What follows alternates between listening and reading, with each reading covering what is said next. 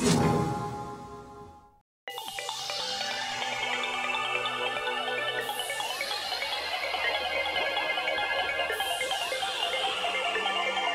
Sega Dreamcast. Now over 20 years old, the Dreamcast represents an unprecedented era of creativity within Sega. With a huge range of remarkable games spread across every genre imaginable, Sega's final console remains popular even today for very good reason. But while Dreamcast's video output options were forward looking for the time, taking full advantage of it today isn't quite as easy as you'd expect. Enter DC HDMI, a new solution for those who desire pristine image quality on a modern flat panel display. This internal modification is the first and only fully digital solution for Dreamcast video output. It overcomes issues often encountered with other solutions while offering the sharpest possible video output from your Dreamcast console. Thus, on this episode of DF Retro, we're focusing on the DC HDMI project, showing its features and results, while drawing comparisons to other solutions on the market today. So, let us enter the world of Dreamcast HDMI. I don't know. What do you think?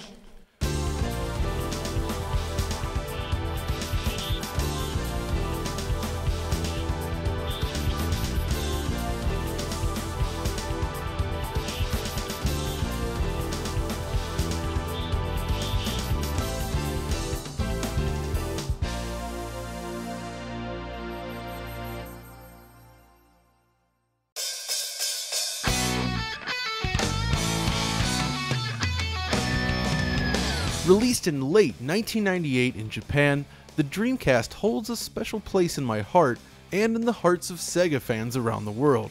This is the first console I pre ordered and purchased on day one in North America.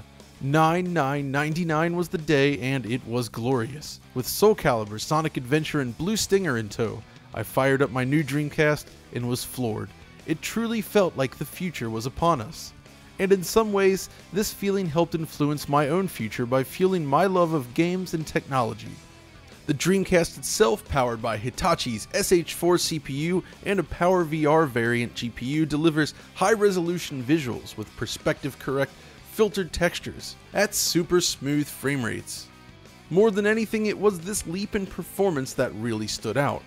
There were certainly 60 frames per second 3D games on consoles prior to Dreamcast, but it was relatively uncommon. It's even more impressive when you consider the competition. Dreamcast was released just two and a half years after Nintendo 64, but it truly feels like a generation apart. Dreamcast is also the first console to truly deliver arcade perfection in the home, it was finally possible to experience Sega Model 3 caliber visuals on a console, and Sega even created the Naomi arcade platform, which shares most of its hardware directly with Dreamcast, which means games like Virtua Tennis and Crazy Taxi could make the jump to home console with minimal to no changes. It may seem quaint now, but Dreamcast finally delivered on the promise that Sega first made back in the late 80s with Sega Mega Drive. The arcade had finally come home. And while Dreamcast was only on the market for a very short time, it sure burned brightly. It was an exciting time in gaming. So, yeah, I love Sega Dreamcast. And one of its best attributes at the time was full support for VGA output. Until Dreamcast's arrival, most game consoles displayed graphics at lower resolution 15 kHz 240p, but Dreamcast made the jump to full 31 kHz 480p and it was glorious. It works great on a classic PC monitor of this era, but if you're trying to play Dreamcast on an HD TV, either via VGA or some form of analog to digital converter, there are some issues. You see, the Dreamcast generates a DTV signal much like other consumer electronics of this era. While only 640x480's worth of pixels are ever drawn, this is contained within a 720x480 frame. Typically, with modern displays, this is interpreted as a true PC like 640x480 image, eliminating lines in the process. The result, a loss in image clarity with minor distortion and a narrow aspect ratio. And this is where the DC HDMI comes in. It taps directly into the system, delivering all pixels digitally to your display at a variety of output resolutions, and as you can see, it looks great. The question is, how does it stack up against the other options available? There are many ways to extract the VGA signal from Dreamcast, but not all of them are created equally. For this video then, we're comparing DC HDMI against four other products, including the Behar Brothers Toro VGA box, the Akura HDMI box, Pound Technologies HDMI cable, and Sega's official VGA box. But before we continue, remember, DC HDMI can output full 1080p or 960p directly to your display using integer scaling, enabling crystal clear pixel definition. All other options mentioned in this video are limited to 480p output, which means if you're not playing on an old VGA monitor, you need to rely on your TV's internal scaler or an external solution such as the open source scan converter. When connecting any of these boxes to your TV then you're likely to encounter results like this. A soft image upscaled to your panel's native resolution complete with sampling errors. This of course does not apply to DC HDMI. But let's say you have an OSSC, well using default settings, even there you'll notice some issues. Here we're comparing the output of DC HDMI against the Toro box in 2x480p mode, and while it looks better, pixel edges aren't quite perfect. So by using the 480p in sampler option, you can improve clarity producing a sharper image. So if you're using this combo, be sure to enable this setting on your OSSC. With that in mind then, let's start with the baseline, the official Sega VGA adapter. When using this adapter, 480p output is achieved via a DE15 connector, and expectedly the results are excellent. The problem is, it's analog VGA out only, which isn't a great fit for modern displays. When using the OSSC though, the results are crisp and clean, but there are some mild color reproduction issues that I noticed even when using neutral settings. Despite this, the overall picture quality is excellent. I've owned a number of different third-party boxes over the years, but I feel that Sega's original VGA box is the best of them all. I do feel that the DC HDMI has some advantages over this box, but keep in mind that Sega released this on the market during the time when most PC monitors were CRTs, which could natively display a 480p signal, so it was a great fit. Still, without one of those monitors, the only way to match DC HDMI in terms of clarity again is with an OSSC, which is extra hardware and extra cost. Of course, this VGA box isn't exactly common, which brings us to the Toro. I feel that this is the most flexible option from the Behar brothers, as you can use an external line doubler or scaler on a modern display, or simply stick with analog output for use on a CRT. Using an OSSC for capture, the results aren't quite as refined as Sega's own VGA box. It's close, but not quite perfect. I also encountered color errors, especially when using the SCART output, which supports 480p. The yellow here in Crazy Taxi appears rather garish compared to the more natural and correct orange you get on DC HDMI, and here you can see some detail on the back of the cab is crushed on the Toro. Still, results are good overall, but there's another problem. These Behar Brothers adapters use a modular cable, which is highly sensitive. I've already had to replace it once, but the second one is already exhibiting problems. Just moving the box around is enough to trigger connectivity issues, which manifest like this. And these cable issues apply to the other Behar Brothers product, the Akura. It's a similar box but outputs HDMI instead. Unfortunately, this means you can't use the OSSC to improve results, thus you're stuck with native 480p output, which is blurry and exhibits typical Dreamcast sampling issues. Now, the signal itself isn't blurry, the problem lies with the way the various displays will scale the image. Most modern TVs do not handle 480p well. You could use something like the FrameMeister which has HDMI inputs, but 480p is not exactly its specialty. Honestly though, while each solution has its share of flaws, they're all reasonably solid. None quite match the pixel perfect clarity of the DC HDMI nor the plug and play simplicity however. Where DC HDMI excels though is in its ability to output a perfectly sharp 1080p image without any additional hardware beyond the Dreamcast and DC HDMI board itself. But each of these solutions are also rather pricey, which is where Pound Technologies comes in. Pound has marketed a range of affordable cables for multiple systems, and that includes Dreamcast. Coming in at just 30 bucks, it seems like a great deal, but based on my experience, the results leave a lot to be desired. Right away, it's clear that the pound cables produce a darker, blurrier, uglier overall image. Colors are basically ruined and everything appears muddy. It's a far cry from the original VGA box, and it doesn't come close to matching the DC HDMI. There seems to be an engineering fault in the design of the cable, honestly. It's an easy and cheap method to play via HDMI, but it's just not worth using as a result of the huge loss in image quality. I would recommend staying far, far away from the pound cable. Radio, radio.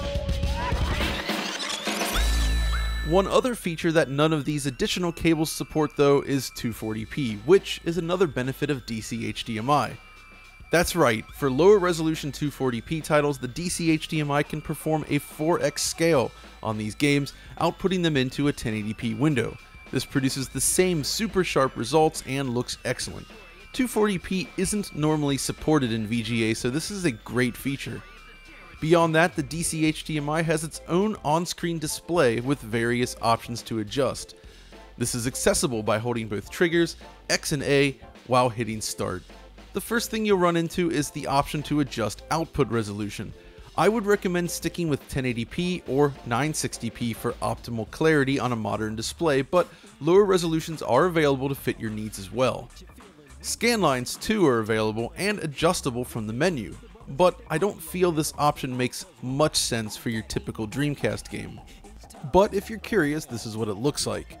And I suppose if you think about it, you will see a subtle scanline effect as well on a real CRT monitor if you look closely at a 640 by 480 image. It's just that when you sit further back on a modern display, these smaller scanlines simply give the impression of a darker image without really adding anything, so I prefer running without them.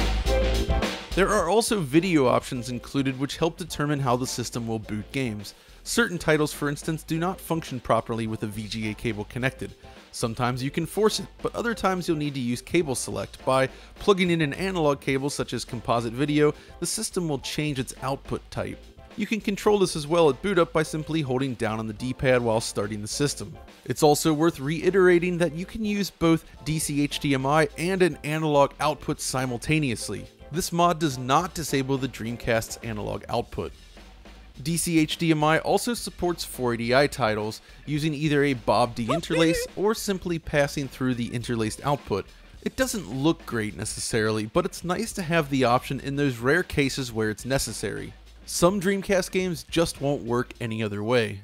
In regards to Hydro Thunder, I should note that if you have the hot new version, it does support VGA, but the original version I have here, which ships on a blue disc rather than a red disc as you see on the updated version, does not seem to work with VGA.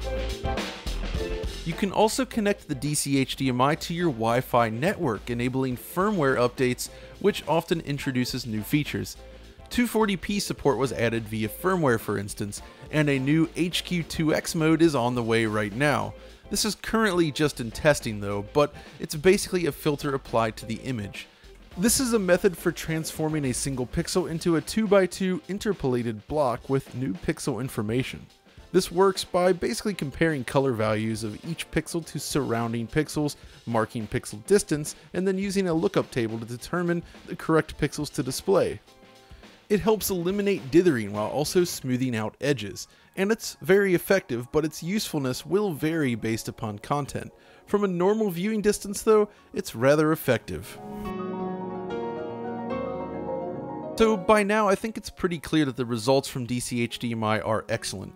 Games are super crisp and clean, and colors are extremely accurate. So yeah, it looks great, but how does it actually work? Well, firstly, DC HDMI is a little more complicated than a typical mod. You've already seen the board and the back of the system, but basically it's an internal FPGA based solution wired directly to the GPU via traces connecting to the digital to analog converter. Unlike other solutions though, this is pure digital, pulling video directly from the system and manipulating it before outputting to the HDMI transmitter. As for installation, a range of installers are available around the world, or you can choose to install it yourself, but it requires some soldering skills. It also requires a slight modification to the case, but mounting it beneath the system board helps limit the impact. Once installed then, you'll need to use a mini HDMI cable to connect to your display. Beyond that though, it should work just like any modern HDMI device. DC HDMI also handles audio exactly as you would expect. Like the video output, audio is pulled digitally from the system and passed through the HDMI transmitter. And this is one area where VGA boxes often fell a little short, I've found, with audible humming occurring on some units or crackling when adjusting the volume. DC HDMI eliminates this entirely, enabling the cleanest possible audio from the system.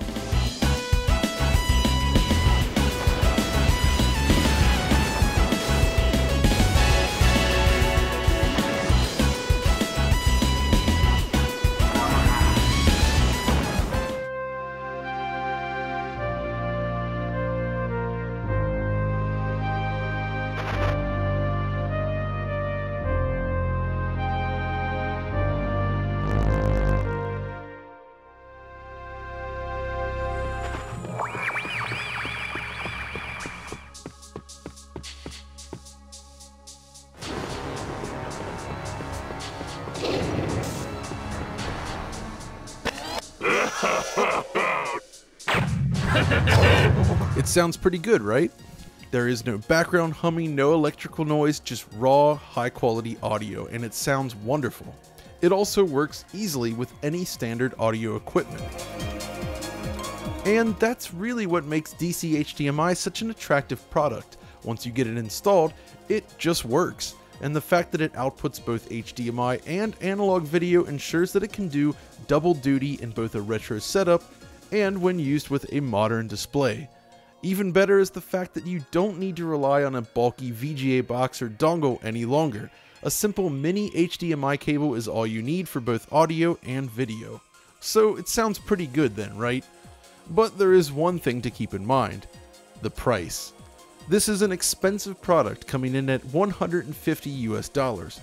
It's a situation where the production cost and reliance on an FPGA chip bumped the cost up, but if you start looking closer at other options I mentioned earlier, well, the $150 price tag doesn't seem so bad.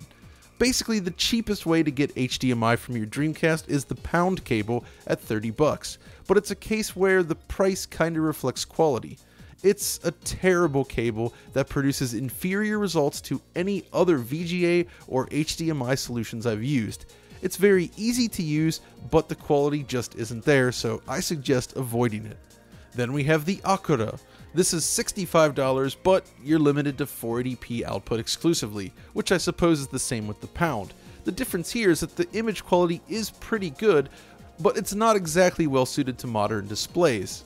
Most modern TVs will blur the image when scaling 480p up to the native panel resolution, and while you could combine it with an expensive FrameMeister, the quality there is still below DC HDMI. Then there are the other analog solutions such as the Toro, which is 60 bucks, or another VGA box entirely.